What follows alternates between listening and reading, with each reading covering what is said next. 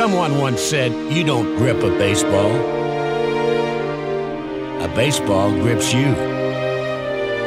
It fills our days and brightens our nights. Over the course of a season and the span of a lifetime. We share hope, drama, and joy. It brings us all closer together, nine innings at a time. It's the game we live. It's the game we love. Welcome back, baseball. Welcome back.